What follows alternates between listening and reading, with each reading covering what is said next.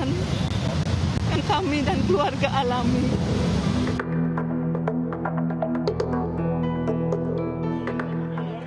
Istri Ferdi Sambo, Putri Chandrawati, hari ini menjalani pemeriksaan perdana sebagai tersangka kasus pembunuhan berencana Brigadir Yosua Huta Barat.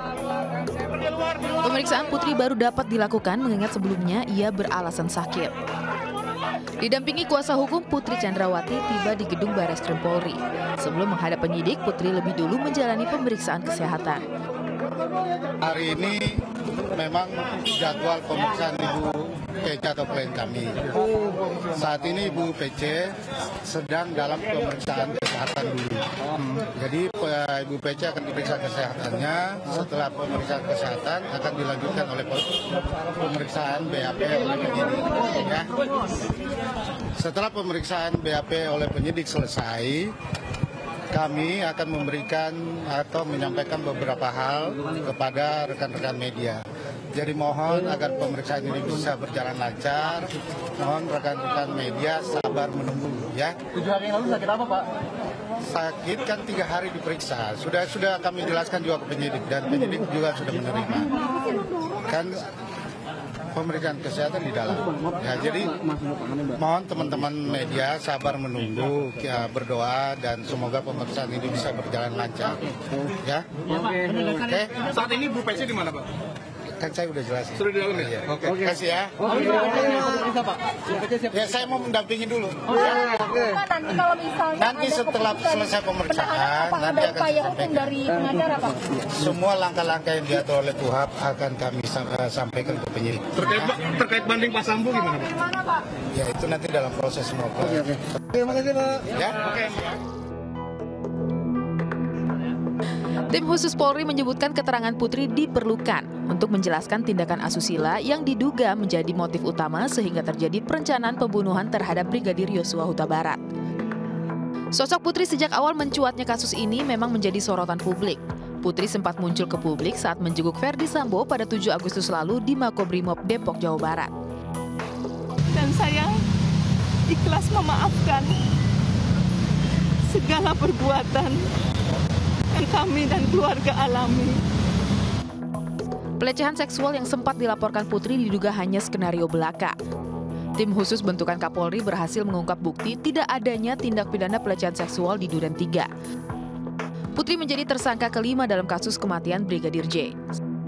Sebelumnya, Irjen Verdi Sambo telah lebih dulu dijadikan tersangka dan disebut sebagai dalang pembunuhan Brigadir J.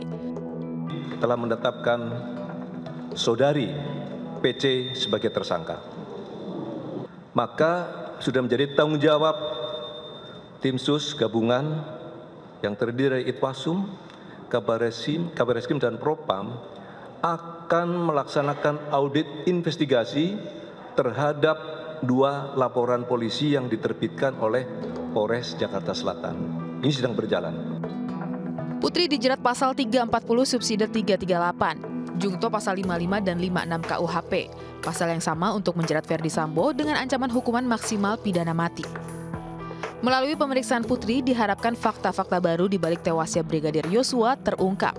Tabir kelam yang memilukan itu pun bisa terang benderang.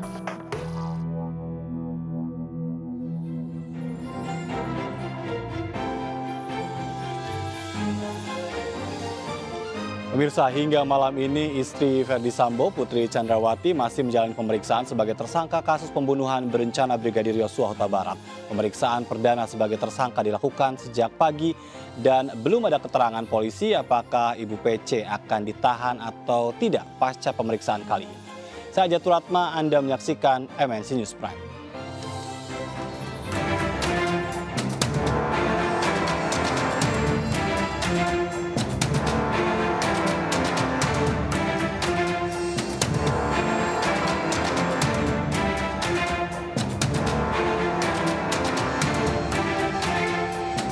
Istri Ferry Sambo, Putri Chandrawati diperiksa untuk pertama kalinya sebagai tersangka pembunuhan berencana Brigadir Yosua Huta Barat. Pemeriksaan baru dapat dilakukan hari ini karena sebelumnya Putri menyatakan dirinya sakit. tiba di Bareskrim Polri sekitar pukul 10.40 waktu Indonesia bagian Barat. Putri Chandrawati dan tim kuasa hukumnya berusaha untuk menghindari awak media. Kehadiran Putri dalam penyidikan hari ini dibenarkan oleh kuasa hukumnya Arman Hanis dan juga Dirpidum Bareskrim Polri Brigjen Pol Andi Rian. Dalam kasus pembunuhan Brigadir Yosua, Putri Chandrawati adalah tersangka kelima. Para tersangka dijerat dengan pasal 340, subsidiar pasal 338 KUHP, jungto pasal 55 KUHP, jungto pasal 56 KUHP. Keempat tersangka sudah ditahan, sementara Putri masih menunggu hasil pemeriksaan hari ini. Memang jadwal pemeriksaan Ibu Keca atau. Kabar Eskrim Komjen Pol Agus Hadrianto menyebutkan pihaknya akan mengikuti rekomendasi dokter untuk menentukan apakah akan langsung menahan Putri Chandrawati atau tidak. Istri Ferdi Sambo itu diketahui hingga kini masih menjalani pemeriksaan sebagai tersangka di Bareskrim Mabes Polri. Kabar Eskrim menegaskan penyidik memiliki kewenangan untuk mempertimbangkan semua aspek terkait dengan upaya penahanan Putri Chandrawati. Agus menyebutkan Polri bahkan siap menghadirkan dokter pembanding untuk memastikan kondisi kesehatan Putri. Menurutnya penyidik Polri akan mengikuti rekomendasi dokter untuk menentukan apakah akan langsung menahan Putri usai pemeriksaan hari ini atau tidak. Dan untuk mengetahui informasi terbaru terkait dengan pemeriksaan Putri Chandrawati, sudah ada Reka Nasa Safrina di Bareskrim Polri. Nasta, informasi apa yang bisa Anda sampaikan terkait dengan pemeriksaan yang masih berlangsung hingga malam hari ini?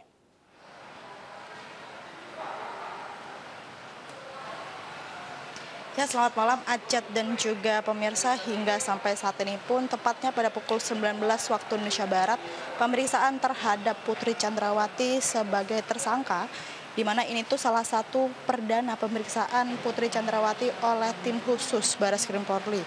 Sehingga hal, hal ini juga hingga sampai saat ini sudah 9 sudah 8 jam berlangsung pemeriksaan. Namun kami belum dapat memastikan apakah memang di sini tetap dilaksanakan pemeriksaan ataukah sudah selesai.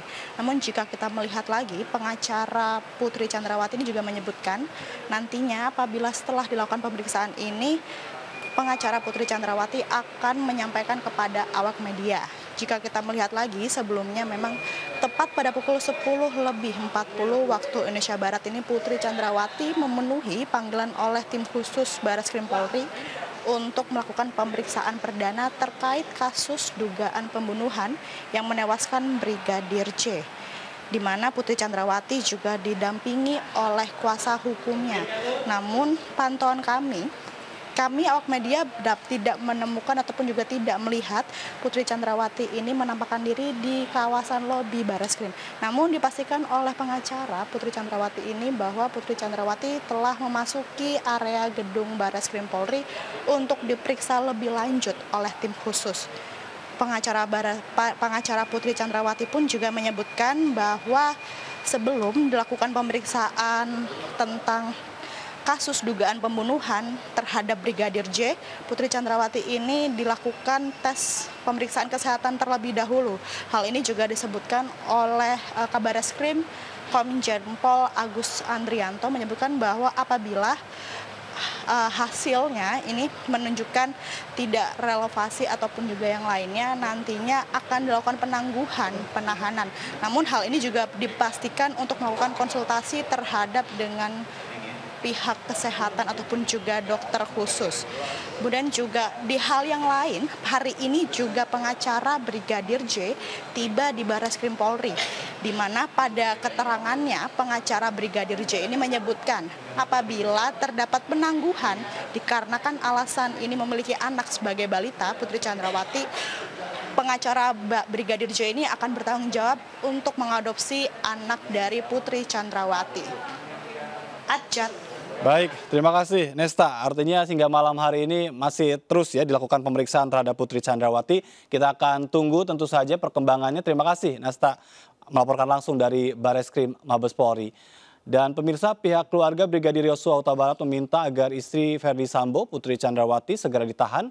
Permintaan itu untuk menghindari adanya pengaruh dari pihak lain.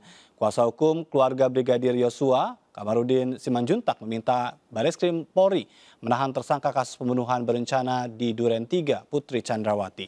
Ia menjelaskan permintaan segera dilakukan penahanan tersebut untuk menghindari adanya pengaruh pihak lain. Kamarudin juga menyebut baik menyambut baik proses pemeriksaan perdana Putri Chandrawati sebagai tersangka yang dilakukan Bareskrim Polri hari ini.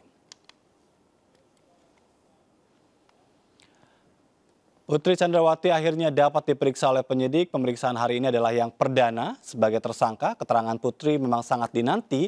Terlebih sebelumnya Kapolri menyebut perlu mendalami keterangan Putri Chandrawati untuk memastikan motif pembunuhan Brigadir Yosua Huta Barat.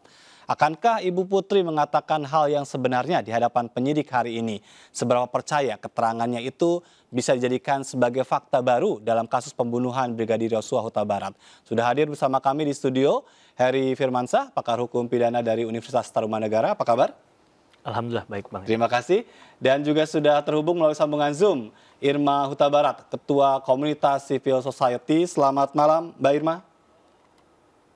Baik, kita akan nanti eh, coba kembali menghubungi Mbak Irma Huta Barat. Saya ingin ke Mas Heri terlebih dahulu. Kalau berbicara tentang istri Sambo, yang menjadi menarik adalah konstruksi hukumnya. Bagaimana Anda melihat ya pasal 340 yang ditetapkan kepada FS dan juga kepada Ibu PC ini?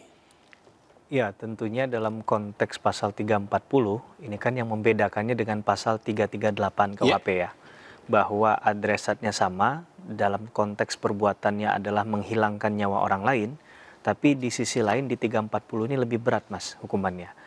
Karena ada pembunuhan berencana. Ya. Nah, berencana ini berarti ada jeda waktu di mana seseorang itu memikirkan untuk melakukan satu tindak pidana atau tidak. Tapi kalau kita lihat dari beberapa keterangan yang eh, sudah di publik gitu, ini dalam waktu yang singkat ada dua tersangka dalam pasal yang sama. Bagaimana menurut Anda pertimbangan dari penyidik seberapa kuatkah itu? Ya, kalau kita lihat penyidik juga sudah sangat hati-hati ya. Hampir satu bulan dalam proses penyelidikan, naik ke proses penyidikan, kemudian memunculkan nama-nama tersangka. Saya yakin dan percaya penyidik juga tidak gegabah karena ini atensi publik luar biasa. Juga eh, apa dalam konteks ini adalah nyawa seseorang ya, yang dalam konteks atau konsepnya hak asasi manusia tentunya Yeah. sangat dihargai dan dilindungi. Jadi saya rasa penetapan tersangka pada saat ini sudah melalui proses yang sudah uh, berliku begitu ya, tidak mulus-mulus saja. Baik. Karena tentunya uh, yang kita harapkan adalah dalam hal ini penyidik bekerja secara profesional dan proporsional. Dan Baik, tapi tidak mudah ya untuk dilakukan. bisa membuktikan 340 ini ya untuk dua orang tersangka ini. Iya, kalau kita melihat konsepsi di pasal 340 dengan perencanaan, maka harus bisa dibuktikan ada tidaknya rencana tadi. Baik. Maka kita akan flashback ke belakang, kita akan melihat dan mengurai fakta-fakta hukum yang sudah terlewat tadi. Persoalannya apakah fakta hukumnya masih utuh atau tidak, Iya. ataukah alat-alat bukti yang ada itu sudah mencukupi atau tidak, atau memang sudah ada yang hilang. Iya. Nah ini Baik. jadi persoalan utama dalam hal pengungkapan kasus ini. Baik, saya ingin kembali menyapa Mbak Irma Huta Barat yang malam hari ini eh, kita akan ajak berbincang. Selamat malam, Mbak Irma. Selamat malam, Mas Azhar, apa kabar? Kabar baik, terima kasih atas waktunya. Saya ingin langsung Ya. minta tanggapan Anda. Hari ini Ibu PC diperiksa, apakah ini mematahkan praduga sebelumnya yang sempat juga Anda sampaikan ada keistimewaan terhadap Ibu PC selama ini? Iya, semakin jelas. Ini jangan lupa ya, ini sudah hari ke-48 loh. Pada waktu eh, Sambo ditetapkan sebagai tersangka itu hari ke-30, ya Ya. kan? Dan 48 hari untuk kasus yang sebetulnya sudah terang benderang sejak Kapolri mengumumkan bahwa tidak ada pelecehan seksual dan tidak ada eh, tembak-tembakan. Jadi eh, kebohongan yang pertama itu sudah terbongkar ya kan. Iya. Nah dari saat terbongkarnya sampai hari ini saja masih terlalu lama kalau menurut saya. Dan saya khawatir bahwa ini adalah maling kering. Ketika seorang berpura-pura sakit untuk menghindari pemeriksaan dan itu sudah sering sekali terjadi. Jadi kalau kita ini disuruh berbaik sangka, Ya, ya itu kan juga sulit karena kan dari awalnya memang penuh dengan kebohongan. Jadi bagaimana kita harus percaya terhadap kebohongan demi kebohongan yang disajikan. baik. Jadi ini memang harusnya ditahan kalau menurut saya. Kalau me- kalau me- mem- menimbang rasa keadilan masyarakat, kalau menimbang perasaan ibunya Joshua yang Iya. selama 48 hari menunggu menunggu kesaksian dari putri loh. Iya, jadi sekali lagi Anda menilai bahwa Ibu Putri ini sedang eh, bersandiwara atau tadi Anda katakan maling ring gitu? Hal apa lagi yang menguatkan praduga Anda itu?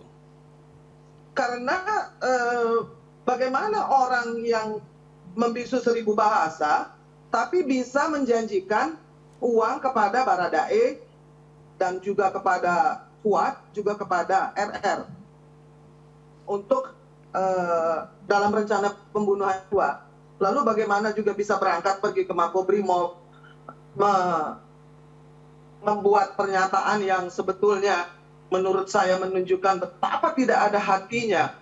Tidak ada rasa penyesalan sedikit pun. Ini ada anak orang yang sudah hilang nyawanya loh, Mas Baik. Ajat. Baik. Jadi ke- kalau satu kalau kita berbohong sepatutnya kita minta maaf ya kan. Yang berbohong itu Jenderal Bintang Satu dan Kapolres pada waktu mengatakan bahwa ini salah. Tidak ada pelecehan seksual, tidak ada pembunuhan berencana.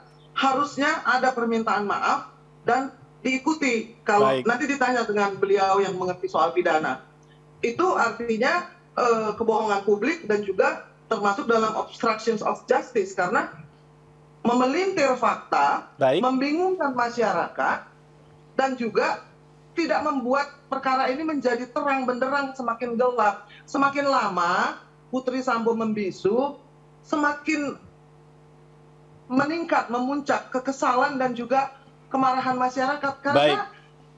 kalau ada perempuan yang paling menderita itu adalah mamanya Joshua, Mas Ajat, bukan Ya. Putri Sambo. Iya, tapi apakah ad- akan ada kejujuran itu pada saat pemeriksaan hari ini menurut keyakinan Anda? Em, saya tidak tahu kenapa selama 48 hari ya tidak ada sepatah kata pun yang keluar dari mulutnya Putri Sambo. Padahal ia adalah orang yang eh, paling dekat dengan Joshua. Dia yang paling tahu apa yang terjadi saat itu. Baik. Kalau memang eh, kita kan curiga bahwa ini ada sesuatu yang lebih besar ketimbang urusan domestik eh, yang remeh-temeh yang kemarin dibahas di rapat dengar pendapat. Ada sesuatu yang lebih besar yang harusnya eh, didengarkan. Baik. Kalau Putri dijadikan tersangka dan ditahan, maka dia akan ditanya. Jadi dia juga eh, bisa diberikan kesempatan untuk bicara, open Baik. question, menjawab dan menceritakan. Kalau Ya. alasannya eh, belum siap, belum siap, hari ke-48 loh Mas, jangan lupa. Iya, baik. Saya ingin ke Mas Heri. Mas Heri, apakah eh, ketidakterbukaan itu dalam tanda petik bisa membuat posisi memang Bu Putri ini eh, memberatkan dia? pada hakikatnya ketika seseorang dimintai keterangan dalam proses penyidikan atau pengungkapan satu perkara pidana, maka yang dibutuhkan adalah kejujuran begitu ya. Karena apa? Karena tentunya ini akan membuka eh, kotak Pandora dari sebuah persoalan hukum yang dihadapi oleh penyidik. Dengan pertimbangan bahwa beliau misalnya kooperatif Ya. pada hari ini, tentunya penyidik juga akan memberikan katakanlah reward lah dalam artian ini juga akan dipertimbangkan nantinya dalam proses jika ini sampai ke tahap pemeriksaan di sidang pengadilan. Jika memang benar-benar kooperatif, apa yang disampaikan memang sejujurnya begitu ya? Betul. Apalagi kalau sampai nanti ada keterangan yang tidak benar. Di muka pengadilan saja ketika seorang yang dikategorikan sebagai saksi uh, yang harusnya dia melihat, mendengar, mengalami Iya. sendiri dan ternyata dia menyampaikan yang tidak sebenarnya dan di luar dari pengetahuannya tadi, maka ini juga akan menjadi problematika hukum tersendiri, Mas Ajat. Bisa saja seseorang itu akan kemudian didakwa dengan keterangan palsu di muka persidangan. Baik. Nah, hal ini tadi eh, sudah sudah disinggung ya. jeratan lain pidana lain begitu akhirnya. Sa- sangat memungkinkan tuh hal itu kalau memang itu dilakukan ya. Kita Baik. berharap Bu, Bu Putri tidak melakukan hal itu. Iya, saya ingin lagi nanti minta tanggapan Mbak Irma juga terkait dengan tadi juga sempat disinggung bicara tentang motif yang sempat juga disampaikan oleh Kapolri ini. Ada kaitannya masih ternyata terkait dengan pelecehan dan perselingkuhan. Kita jeda tapi sesaat lagi tetap bersama kami tetap di MNC News Prime.